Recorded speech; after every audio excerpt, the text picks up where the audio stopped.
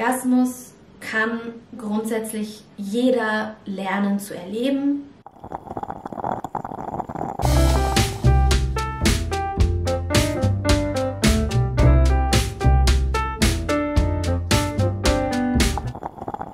Hallo, ich habe soeben ein Video gedreht über was ist ein Orgasmus, äh, welche Phasen gibt es da, was ist der Unterschied zwischen orgastischer Entladung und einem tatsächlichen Orgasmus. Den Link dazu findet ihr unten in der Beschreibung. Ich würde euch raten, auf jeden Fall erst das Video anzuschauen, bevor ihr das hier anschaut, weil das einfach die Basis ist, auf die ich nicht noch einmal wirklich eingehen werde, sondern ich gehe jetzt einfach davon aus, dass ihr das erste Video gesehen habt. Das braucht ihr nämlich. Vielleicht sage ich noch kurz, ich bin Lara, ich bin Sexologin und ich berichte euch hier Dinge, die ich gelernt habe und die ich auch im Beraten immer wieder neu lerne oder kennenlerne. Dieses Video ist für dich, wenn du noch nie einen Orgasmus erlebt hast, bisher, also wenn du bisher noch keinen Orgasmus erlebt hast, also noch nicht weißt, wie sich das anfühlt in deinem Körper und noch nicht gelernt hast, einen Orgasmus zu erleben. Wenn ich sage, noch nicht gelernt hast, dann sage ich das ganz bewusst, denn ein Orgasmus kann grundsätzlich jeder lernen zu erleben. Es ist wirklich mini, mini, minimal selten. Mir ist es noch nicht über den Weg gelaufen, dass jemand tatsächlich körperlich keinen Orgasmus erleben kann. Das heißt, es ist eine sehr große Chance, dass du, wenn du nichts neurologisch krasses Thema hast, von dem du dann wahrscheinlich auch längst weißt, dann hast du die Fähigkeit, einen Orgasmus zu erleben. Also ich denke, das ist auch beruhigend für alle zu hören, die irgendwie denken, oh Gott, ich bin nicht normal, ich habe noch keinen Orgasmus erlebt, ich check das nicht, kann ich das überhaupt erleben, bin ich, was ist los mit meinem Körper? Es ist nichts los mit deinem Körper, du hast es einfach noch nicht gelernt zu erleben und du kannst es erleben. Wenn ich sage lernen, dann ist es vielleicht erstmal komisch, weil so von Freundinnen oder von Bekannten oder von allem Möglichen hat man nicht den Eindruck, dass man Orgasmus zu bekommen lernen muss. Man denkt irgendwie, jeder kann das einfach. Aber es sind einfach Lernerfahrungen, die im Laufe der Zeit, also von Kindheit an gemacht werden und die dann dazu führen, dass du es auch einfach irgendwie kannst, weil du ganz viel aber vorher gelernt hast. Und manche Menschen haben diese Entwicklungsschritte nicht, nicht erlebt oder nicht in dem Maße erlebt sodass sie eben jetzt als Erwachsener oder als Jugendlicher da sitzen und denken, hä,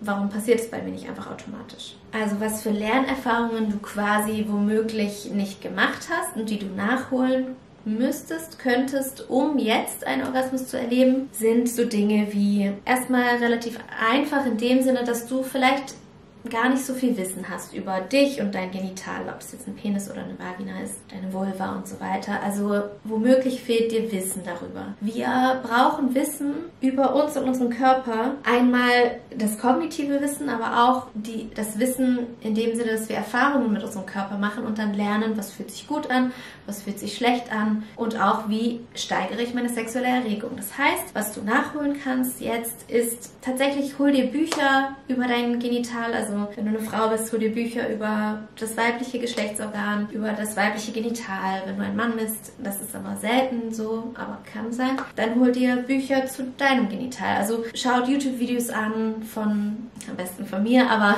von Quellen, denen ihr wirklich vertrauen könnt. Eignet euch erstmal einfach kognitiv Wissen an über euren Körper, über eure Geschlechtsorgane, auch darüber, was ein Orgasmus ist. Also wenn du jetzt das erste Video schon gesehen hast, perfekt, da hast du schon einen Schritt getan, um selber einen Orgasmus zu erleben. Dann schau dir an deine kognitiven Hindernisse, die du vielleicht hast. Also vielleicht Glaubenssätze, die du im Kopf hast, die dich daran hindern, einen Orgasmus zu erleben. Das kann sowas sein wie, Orgasmus bedeutet Kontrollverlust. Ich habe Angst, meine Kontrolle zu verlieren. Es kann sowas sein wie, es ist nicht okay, Sexualität zu genießen. Also ich kann hier auch wieder nur ansatzweise Dinge euch sagen, weil sonst kann ich hier drei Stunden sprechen und müsste euch auch in der Beratung haben, um das wirklich zu bearbeiten. Aber wenn ihr selber so reflektiert seid, dass ihr so ein bisschen tiefer gehen könnt, dann ja, schaut euch eure Glaubenssätze, eure Gedanken zum Thema Orgasmus an, eure Gedanken zum Thema mein eigener Körper, eure Gedanken und Einstellungen zum Thema Kontrollverlust, solche Dinge. Da kann auch schon oft ganz viel Lösung drin stecken, wie ihr näher an einen Orgasmus kommt, indem ihr eben diese Glaubenssätze auch verändert, bewusst dann ähm, schaut euch euren Körper an, wenn ihr euch sexuell erregt, ob ihr euch jetzt selbst befriedigt oder ob ihr mit einem Gegenüber seid. Menschen, die einen extrem hohen Muskeltonus haben, also eine hohe Anspannung, denen fällt es manchmal schwer, einen Orgasmus zu erleben. Weil im Grunde müsst ihr euch das so vorstellen, die spannen während der Erregung immer mehr an, also immer, immer, immer mehr an. Und irgendwann sind die so angespannt und sind vielleicht kurz vor dem Orgasmus, aber sie spüren, sie bräuchten jetzt noch mal mehr Anspannung, um zum Orgasmus zu kommen und sie können das einfach körperlich nicht machen. Also das heißt, es ist einfach von vornherein schon so viel Anspannung da, dass dieser, das, es geht dann nicht mehr, man kann nicht darüber gehen. Das heißt, ein bisschen zu spielen mit Entspannung, mehr Entspannung und Bewegung reinzubringen. Dann kann Thema auf jeden Fall sein, wie sehr ihr fokussiert seid auf, auf den Genuss eures Gegenübers. Also seid ihr wirklich bei euch und eurem Genießen oder seid ihr bei dem des Gegenübers? Wenn du jemand bist, der total beim Gegenüber ist, dann wird es schwer sein für dich, einen Orgasmus zu erleben, weil ein Orgasmus braucht auch die Fähigkeit, bei dir zu sein und, und deinen Genuss zu wollen und deinen Genuss zu leben. Noch kurz zur primären Anorgastie nennt man das. Das ist eben jemand, der noch nie einen Orgasmus erlebt hat. Da ist es eben so, dass man noch keine orgastische Entladung erlebt hat, aber man kann sexuelle Erregung wahrnehmen. Das heißt, ihr habt höchstwahrscheinlich schon erlebt, dass ihr erregt seid. Vielleicht seid ihr auch sehr erregt, wenig erregt, mittel erregt, aber ihr kommt eben nicht über die Schwelle bisher. Ich weiß jetzt nicht, wo mein Video abgebrochen ist. Ich hoffe, ich habe ja nicht also nicht zu spät ist gemerkt. Jedenfalls, was nochmal, ich weiß nicht, ob es gut genug rüberkam, aber nochmal das Thema Kontrolle auch anzuschauen. Wie sehr kann ich Kontrolle abgeben?